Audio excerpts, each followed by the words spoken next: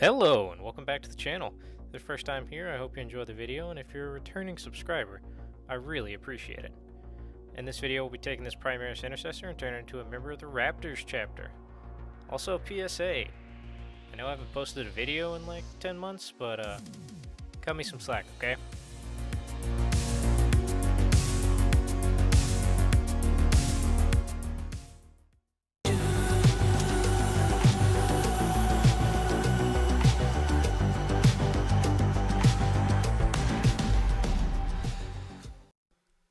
Okay, starting off, for all my raptors I like to remove the Aquila, that way I can attach pouches and grenades and anything else that might look tech cool.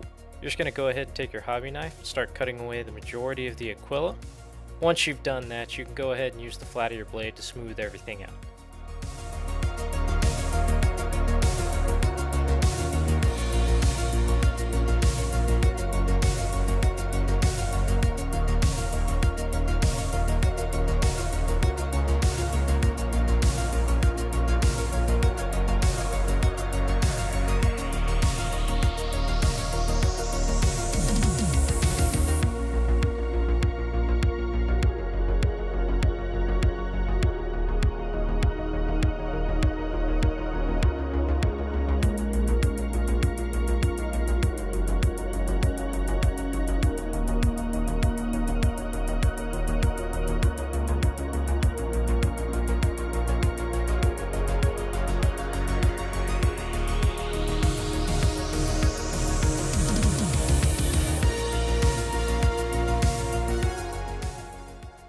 Once you get it cleaned off, it should look something like this.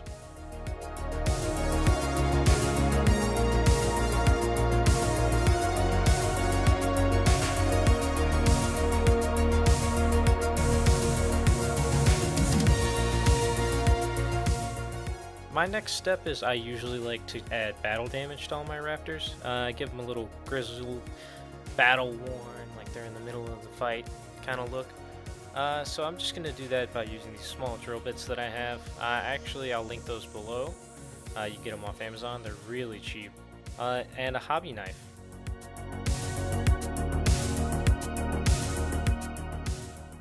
Now you're going to see a little bit later on, I actually changed the body of the Space Marine. I don't really like this pose, uh, especially because I gave him cross rifles.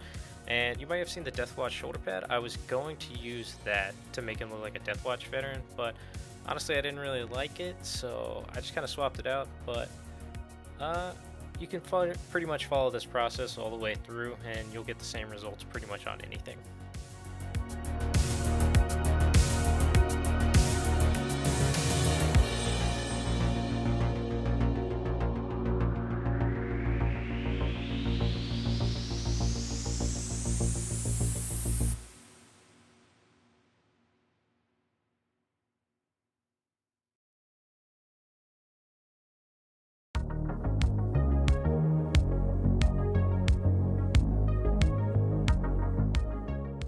Once I'm done with the battle damage, I usually take the little bit of the Tamiya extra thin cement, I dip it in there. That way it melts all those little bits of plastic, that way I'm not worried about them getting in my paint job or anything like that.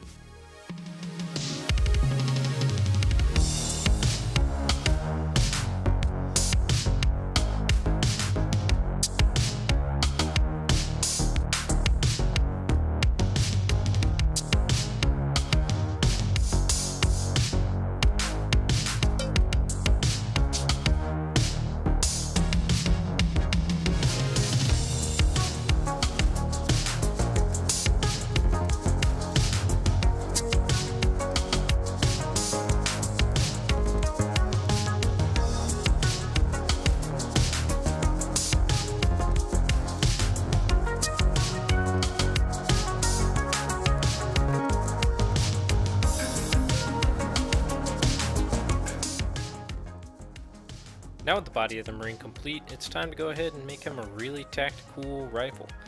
Uh, for this I'm going to be adding him a couple different scopes and a suppressor. I start out by clipping off that little bayonet lug that's down there on the bottom. And the uh, I think it's part of the little gas piston system they use. Uh, I, I clip that off and then I go ahead and I square up the barrel to make it a little bit smaller because the plastic tube that I use uh, is really tight if you try to put it over the barrel without trimming it first.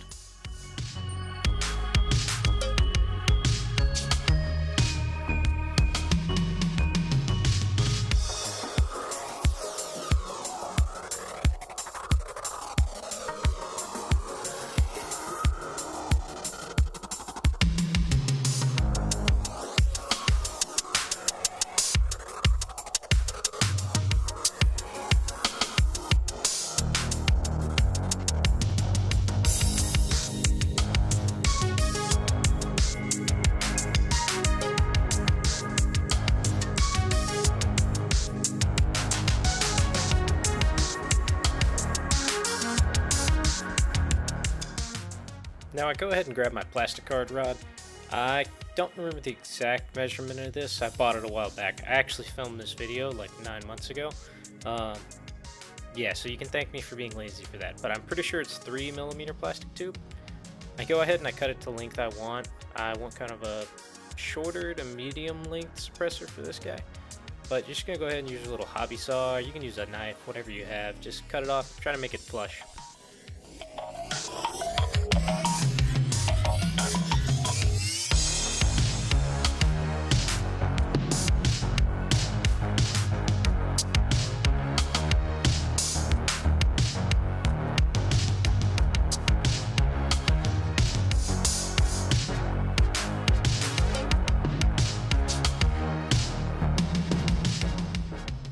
Now with the flush, I go ahead and take out a small piece of plastic card. I put a drop of super glue on it, and then I'm just going to take the little uh, piece of styrene, like piping.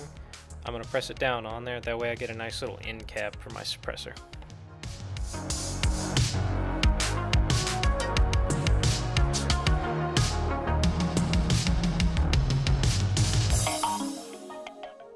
Once that's dry, I give it a nice little trim with my clippers, and then go ahead and clean it up with that same file I used earlier.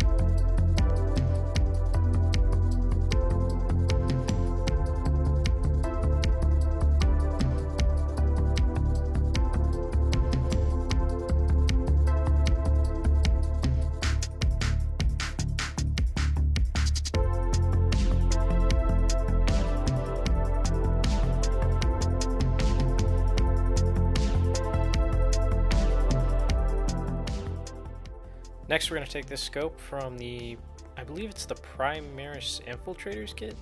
Uh, we're going to go ahead and clip off the little magazine and everything there. And you're going to have to trim it up nice and smooth. That way you can get a nice solid contact point whenever you're gluing it onto the rifle itself.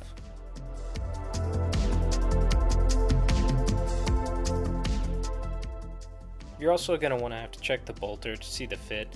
I ended up having to trim back this top edge and this little side prong that sticks out on the bolter. Once you get that cut off, you, should be able to glue it on with no problem.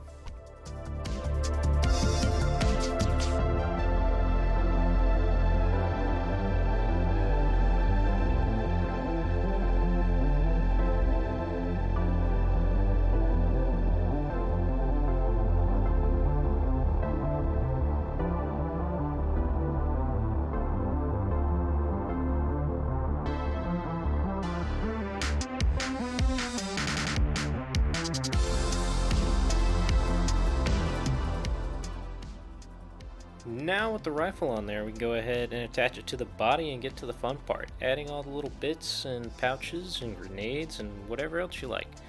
Uh, starting off, I'm using this guy for a kill team. I actually used it at LVO. So if you're at LVO and you played the kill team and you played like a, a dude with Raptors, it was uh, it was probably me. I was running an intercession team. Um, for this guy, I'm giving him a power weapon because you can take an auto bolter and power weapon and kill team for the intercession sergeant. Uh, it's actually, if if you ask me, it's the best build in the in the intercession team per sergeant. Like that's just my personal choice. You know what I'm saying? Uh, but other than that, I just use some super glue to get that on because the contact point is kind of small. Uh, and then for everything else, I either use super glue or plastic cement. It doesn't really matter. At this point, it's your personal preference. Uh, if you need bits like this, I'll link some shops down below that you can get bits off of eBay. I know there's a couple people Noe's Attic. He has really good stuff, uh, and a couple other. I can't think of the names right away, but they'll be down there in the description below. Uh, not sponsored by any of them. I just buy a lot of their stuff. So you know, if you like the stuff that I do, you should probably buy some of their stuff too. And uh, let them know I sent you because I would really, really, really like it if they sent me a lot of free bits. That that would be really nice.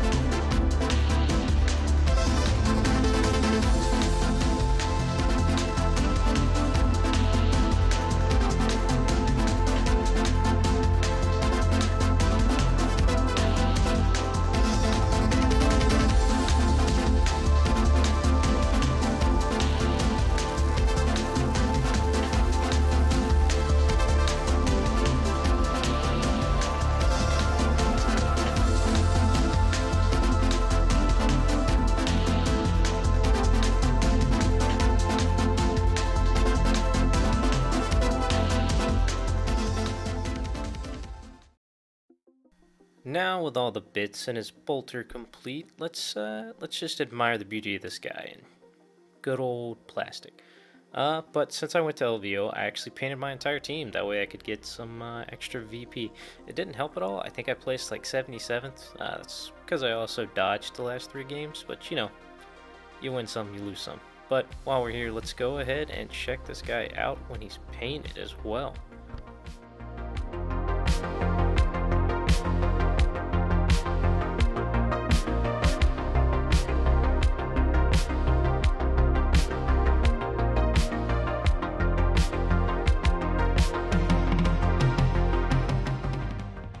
Again, I want to thank you all for stopping by and checking out this video. I really appreciate it. And if you guys are feeling gracious, please hit that subscribe button. We're almost to a thousand subscribers. At that point, I'll be doing a couple giveaways, uh, maybe one or two on my Instagram and then one on here, as well as I'll probably do one on the members channel. So if anyone wants to be a member and have a possibility of winning something, uh, I'll probably be giving away something. Also, I've become a little bit more confident with my painting and modeling abilities, so I'm actually, if you check out my Instagram, it says taking commissions or commissions open. So I'm actually doing that now. So if that's something you're interested in uh, and you see some of my work and you really like it and you want some stuff with me, just message me on Instagram and uh, we can talk it out. Uh, thank you for everything. I really appreciate it.